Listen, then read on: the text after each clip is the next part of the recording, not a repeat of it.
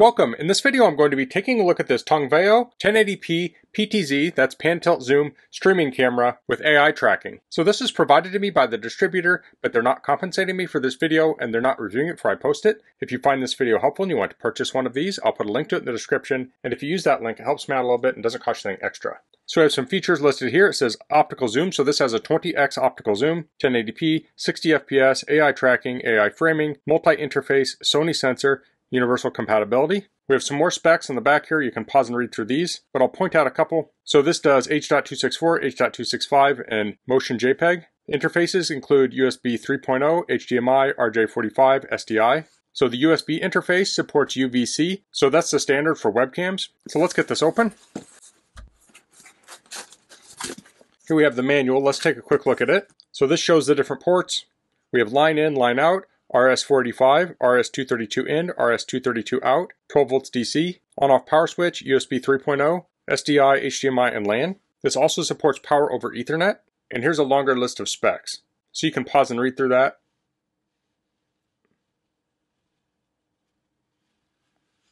So this has a web UI. Here we have the packing list. It comes with remote control. So that's most of that there. So the accessories are going to be on the sides here. Let's pull those out. And the camera's in the middle. This piece of foam down here, let's pull that out. So it looks like we have anchors here. Here we have the power supply.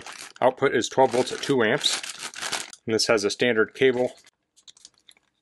And there's a barrel jack on this end. Below that we have a mounting bracket.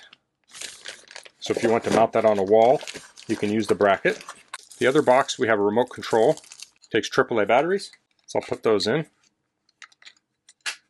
And this just kind of pries from the side, has that little notch there. And it comes with a USB cable. So this does not come with a lot of cables. There's so many interfaces on here that it wouldn't make sense to include all of the cables. So let's look at the camera. So this has some heft to it. Has a cover for the lens. It's rubber. We have a little window here with some indicators on it the IR would probably go in there too. I think there's the IR receiver. So under my hand here is a quarter 20 thread. It also has the IP address with the credentials, and there's rubber feet. Here we have the inputs and a couple outputs on the back. So we have the line in out, Ethernet, HDMI, SDI, USB, on-off switch, the RS232, the RS485, and system select. I think that's for the ID. So let me get this connected up. So I'm going to plug this in. I'll let that boot. I'm going to take the cover off too.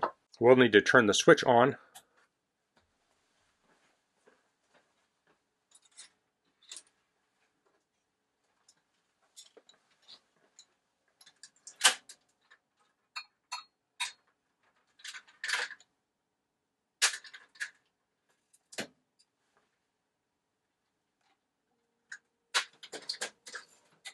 To start out, I'm just going to hook up HDMI.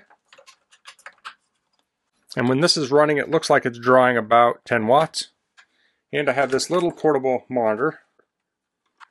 So here we can see the camera. Now I will show other ways to hook this up, but a small monitor like this could be used for a preview for a camera like this. But we have the basic controls on the remote. We can go to the right. We can go to the left. We can go up. We can go down. And we can zoom in. So there's a slow zoom and a fast zoom.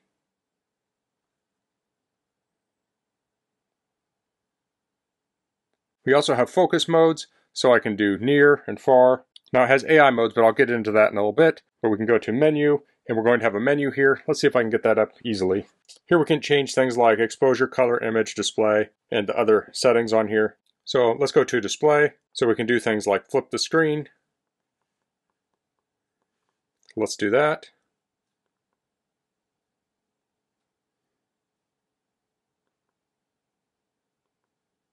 You can see that's flipped. Now you notice the menu is not flipping just the camera. Now this does have a feature where if you turn it upside down, it will automatically know that and flip the image. But if you want to do it manually, you can do it here. We also have communication set up. So this will show the IP address and such. So I'll exit here. And this is not a 1080p monitor, but you can see it does look very sharp on this monitor. So we know the camera's working with the remote. And you can do a lot with this remote. Now the reason I'm using this monitor is because it is easy to show the camera and the monitor at the same time, as opposed to using my bigger monitor, which is up a little bit higher. Let me demonstrate a couple of the features on here, like presets. So here we have a number keypad. It says preset and reset. So let's hit preset 1. And let's go to another position. And we'll go preset 2. Now let's just hit 1. And you can see it goes back to 1. We'll hit 2. It goes back to 2. Now let's zoom in here so we have that zoomed in. Let's say preset 2. Let's go to 1. Let's go back to 2. So you can see the preset works for pan, tilt, and zoom. If we hit manual focus, and I say, I'll just make it out of focus. Okay, so that's blurry. And I'll say preset 2. I'll go back to 1. And then we'll go to 2. Let me hit auto here. So we autofocus, then I'll hit 2 again.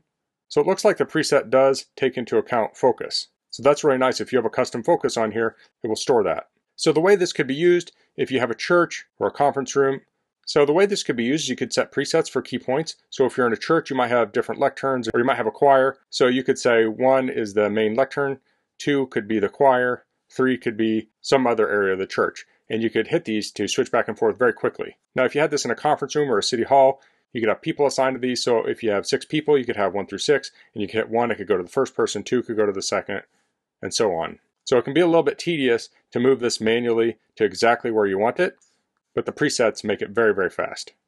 Now, if you have multiple cameras, you can even set different cameras here, so you can control them all with one remote. Let's hit PTZ reset. So this is going to take it to kind of a home position.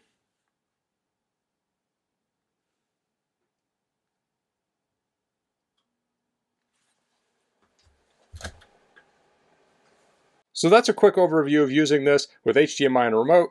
Next I'm going to connect this up to a network. Okay, so I have a different setup here. I've disconnected the power supply and I've plugged in an Ethernet cable. This is connected to a power over Ethernet switch. You could also plug this into what's called a PoE injector. And that's a device that adds power to a network cable. So I do have the monitor still hooked up here, but you can imagine if I didn't have the monitor hooked up, I would just have this single cable going to the camera. So if I wanted to mount this somewhere, I wouldn't have to have a bulky power supply hanging off of it. So I'm going to go into the interface here with the remote, and I'll go to Menu, and I'll go down to Communication Setup. And I want to go down here to DHCP, now it has an IP address, but I want to put it on my network. So the little arrow, it's kind of hard to see, there's a little arrow there. I'm going to go to the right. It says start get IP, and now it has an IP address on my network. So now I can go to a computer and I can access this with that IP address. Okay, so we got that IP address from the interface on the camera itself. And if we go to a web browser, we can enter that in. I had a login screen, so I entered the credentials that were on the bottom of the camera. And we start out on this home screen, and you can see we have the pan tilt zoom settings over here. Looks like we can also go to the on-screen display and we can click on these to go back and forth. I don't know if there's hotkeys for this.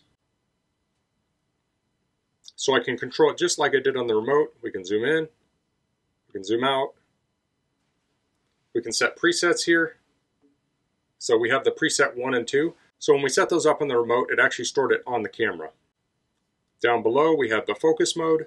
So there are going to be certain things that might be faster to do on the camera and other things that might be faster to do on the remote. So then if we go to image, we can change some image settings. So here you have white balance. You can change exposure, things like that. Looks like there's some presets over here also. Now we can go to tracking. So this is going to have your AI tracking. Now I'm going to demonstrate the AI tracking. I need to move it to a place where I can move around a little more. But here you can turn it on or off. It says mode is presenter zone or auto frame. Says humanoid frame, debug or off or default. It says tracking hint, on or off. At the bottom here we have auto zoom, auto tilt, figure size, tracking start. Then we have zone. So go back to the left side, we have audio video. So here you can change all sorts of things. We can change our encoding from 264 to 265 or motion JPEG. We can change the resolution, bitrate. Now there's two streams here. Looks like the second stream is limited to 720p. So if you've ever used a security camera, you might be familiar with an interface like this. It will often have primary and secondary streams. Oftentimes this is used so you can have the primary stream for local use and the secondary stream could go out to the internet. Then we have audio settings. Now this does not have a microphone built into it, but it does have audio in, so you could plug a microphone into it. Now if you're using this with something like OBS, you might just hook your microphone right into OBS. And you can see the line in here is set to line in. Next we have network. So we just set this up for DHCP on the camera itself. Now these are the basic LAN settings. Now if you look on the top here, these are settings for other things. There are streaming protocols. NTP would be for the clock. I'm not sure what GB28181 is, but you can configure that all here. So below that on the left we have NDI settings. Below that we have captions. And then we have system. So I'm going to get this set up with OBS and I'll come back and talk about how I did that. Okay, so to connect this up to OBS, you want to go to network on the left here and then go to RTSP settings. Now you can turn the auth on if you want. I'm going to go to mainstream here. I'll select it and I'll copy it. Now I'll go into OBS. So under sources, I'm going to go to plus, then media source. I'll create new. I'll say OK. I want to uncheck local file. And then in input, I'll paste in the URL and hit OK.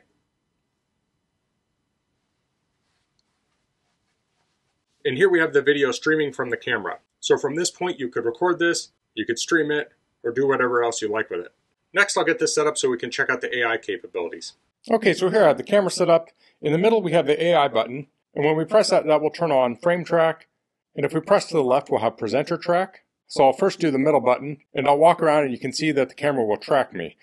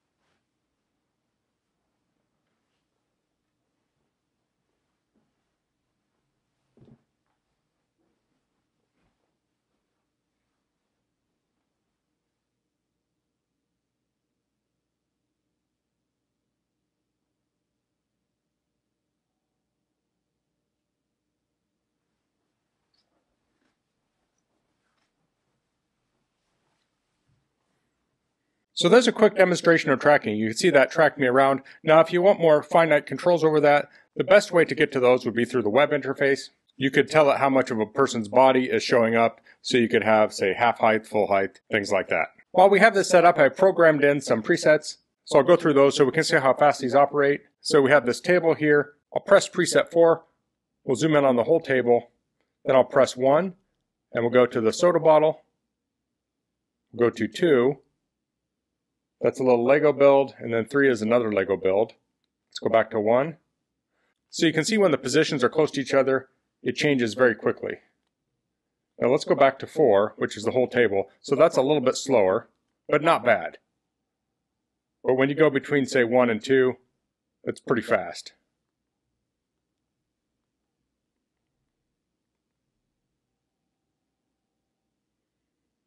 So you just watched the video I recorded on my MacBook. I recorded that with QuickTime. So to connect this up to my Mac, I used the included USB cable. So I plugged one end here. Since I have a MacBook with USB-C, I use this little USB-C hub with the end. You could just use an adapter, and then I plug this into my laptop. Since this uses the standard USB webcam protocol, you could plug this into PCs, Macs, or if you have other devices that work with webcams, maybe gaming systems, or maybe you have a TV that allows you to hook in a webcam, I'm guessing this would be compatible with those things too. So if we look at the side here, it says NDI, and that stands for Network Device Interface. So there's a website, NDI Video, and it has NDI tools, so you can download these to your computer and you can interact with your camera. So here we have the NDI video monitor, so it's streaming the video over the network to this computer. So to connect up to this, I just opened up the NDI video monitor, and then I went to settings, PTZ control, came up twice, but we have controls here so I can control the camera. Now, I don't know that this is the best way to control the camera, but it is another option amongst the many other options. So that was the Tongveo 1080p pan tilt zoom camera with AI tracking. This camera is just chock full of features. It can output to so many different formats. You have network, USB, HDMI, SDI. There's many ways to control this with the remote, with a computer. You can also get dedicated controllers. A camera like this would be great for a church, conference room, could be great for televised meetings. This could work well in a podcast studio. I like how easy this was to use, and I like how capable it was just using even the remote. So you don't have to have a lot of equipment to use this. At a minimum, you can plug this into your computer just like you would a webcam, and then it only goes up from there and the different things you can do with it. So that's all I'm going to cover in this video. If you have any questions, please leave them in the comments. If you like this video, please click like. If you haven't subscribed to my channel, I'd appreciate if you could do that. And thanks for watching. Until next time, goodbye.